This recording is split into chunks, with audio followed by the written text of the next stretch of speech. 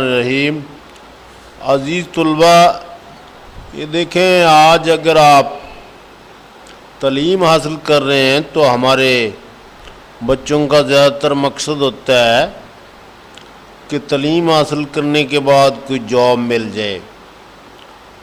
और जॉब हासिल करने के लिए आपके पास स्किल होना बड़ा ज़रूरी है। तो ये short hand Pitman short hand एक बहुत अच्छा स्किल है। पढ़े लिखे लोगों के लिए ये दफ्तरी जॉब करने के लिए बहुत ही मौजू स्किल है। और ये बहुत कम फैमिलियाँ हैं जिनको इनके बारे में पता है और उनके बच्चे शॉर्ट हैंड सीख कर जॉब हासिल कर लेते हैं। और जबकि ऐसे लोग जो इनके बारे में मालूम नहीं रखते, वो उनके बच्चे जो हैं, वो प्रॉपर तरीके से जॉब हासिल करने में नाकाम रहते हैं। और आज भी, आज के इस दौर में भी कुछ लोगों का तस्वर है कि शायद कंप्यूटर के आने से शॉर्ट हैंड की अफादियत और अहमियत कम हो गई है। बिल्कुल नहीं। आप अखबार उठाकर देखें, और डेली कोई ना कोई सीट जो है, वो स्टेनोग्राफर, पीए, सेक्रेटरी, और दफ्तरी कारकुनों की बेशुमार सीटें अनाउंस होती रहती, क्योंकि कोई दफ्तर उस वक्त तक मुकम्मल नहीं होता, जब सबसे पहले वहाँ पर दफ्तरी कारकुन को न बिठाया जाए। तो लिहाजा शार्ट हैंड सीख कर आप भी अच्छी जॉब हासिल कर सकते हैं और इसकी ना सिर्फ़ पाकिस्तान के अंदर डिमांड है, बल्कि हमारे जो इस्लामी मालिक हैं, यहाँ पर हमारे बच्चे रोज़गार कमाने के लिए जाते हैं। अगर ये स्किल है, शॉर्ट हैंड और टाइपिंग में महारत रखते हों तो वहाँ पर भी इनको अच्छी जॉब मिल सकती है। तो बहुत आसान स्किल है और देखे, मैं इतने साल, सालों से ये पढ़ाता रहा। कोई भी बंदा मेरे पास ऐसा नहीं आया जिसने ये ना सीख सका हो।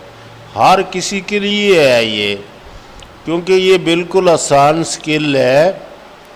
तो आज हम इसके पहला लेसन शुरू कर रहे हैं। पिटमैन शॉर्ट हैंड सिस्टम है, जो पिटमैन बरतानवी पार्लियामेंट का रुकन था। और उसने ये ईजाद किया है और पूरी दुनिया में ये रवाज पजीर है, लेकिन पाकिस्तान के अंदर अभी भी ये लागू है पेटमैन सिस्टम।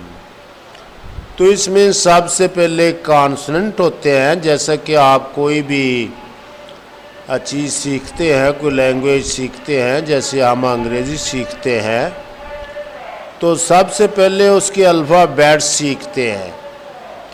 तो जैसे अंग्रेज़ी के अंदर हमारे यहाँ ट्वेंटी सिक्स अल्फ़ाबेट्स हैं कॉन्सनेंट टोन में हैं ट्वेंटी वन। यानी इक्कीस कॉन्सनेंट है और पाँच वावल हैं। इसी तरीके से पेटमैन शॉर्ट हैंड में आप देखेंगे कि यहाँ पर चौबीस कॉन्सनेंट हैं और बारह वावल हैं। और ये इसकी बुनियाद है और कॉन्सोनेंट जो है वो लकीरों वगैरह से ही लिखे जाते हैं। और आसान भी है ताकि आप स्पीड के साथ इसको लिख सकें। ये हमारे सामने पहले सिक्स कॉन्सोनेंट हैं जो बिल्कुल स्ट्रेट हैं, सीधे हैं। दिए गए हैं, इसको आप, जल्दी सीख सकते हैं और बगैर टाइम ज़ाया किए। इनको आप सीख सकते हैं। ये देखें, सबसे पहले कॉन्सेंट है पी ये पी बरीक लकीर है और उसके नीचे ही इसका जो पेड़ है, वो है बी और बी जो है, ये हैवी लकीर है। और इसी तरीके से आगे आ जाए, ये टी है। टी बिल्कुल सीधी लकीर है, बारीक है। और डी जो है, हैवी लकीर है। इसी तरीके से चे जो है इस तरफ़ को ज़रा एरेक्शन है इसकी। तो ये चे है लाइट है और इसी तरीके से जे है, ये भी हैवी है। तो ये हमारे पास छः कॉन्सनेंट हैं। पी बी टी डी चे जे और इनके फ़र्क को आपने पता कर लेना है, ये पेयर है पी बी का पेयर टी डी का चे, पेयर चे जे का पेयर। पेयर इस तरह है कि एक लाइट है, दूसरा हैवी है। एक लाइट है और दूसरा पी इसमें लाइट है बी हैवी है टी लाइट है और डी हैवी है चे लाइट है और जे हैवी है। इसका तरीक़ेकार है, बड़ा आसान सा। पहले आपने एक कापी लेनी है, एक आपके पास पेंसिल होनी चाहिए। और आपने इसको लिखने की कोशिश करनी है। और इन कॉन्सनेंट की सबसे पहले आपने प्रैक्टिस शुरू करनी है। ये देखें, हम यहाँ पर लिखेंगे सबसे पहले पी ये पी है और इस तरह आप बी लिखेंगे और बी लिखेंगे टी लिखेंगे। और फिर आप डी लिखेंगे, और फिर आप चे लिखेंगे चे और फिर आप जे लिखेंगे। हैवी लाइट में पेंसिल से जब आप लिखेंगे तो हैवी लाइट में अच्छा खासा फ़र्क आ जाएगा।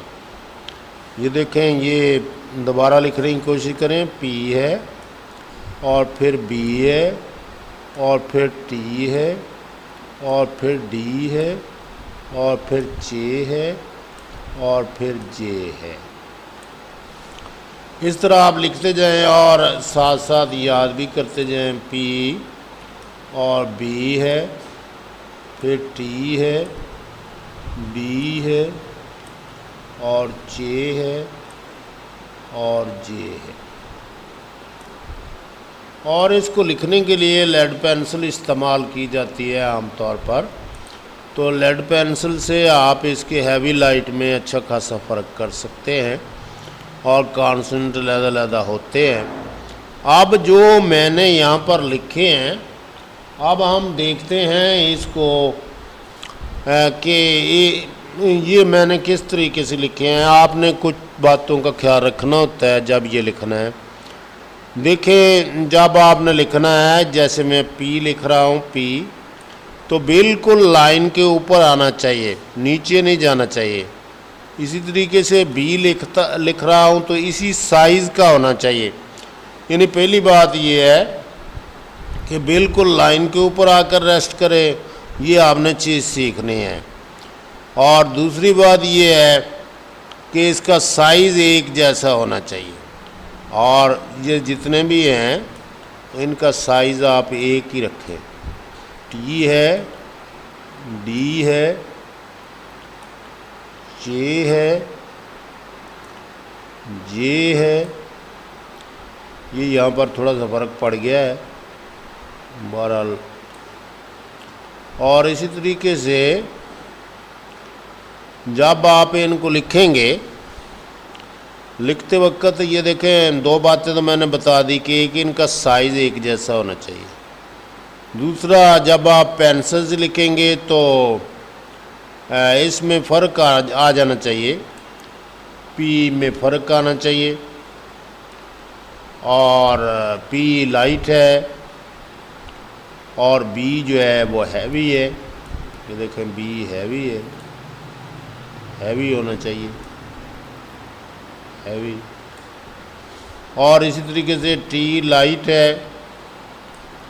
और डी जो है हैवी होना चाहिए पेंसिल से जब आप, ये लेड पेंसिल से लिखी जाती है, इसलिए कि इसमें हैवी लाइट का फ़र्क करना होता है। और इसी तरीके से ये जे है पी है बी है टी है डी है जे है और जे ये सिक्स कॉन्सेंट हमने पढ़ लिए हैं देख लिए हैं और इसी तरह इसकी आपने मेहनत कर लेनी है और इन शार्ट आना शुरू हो जाएगी।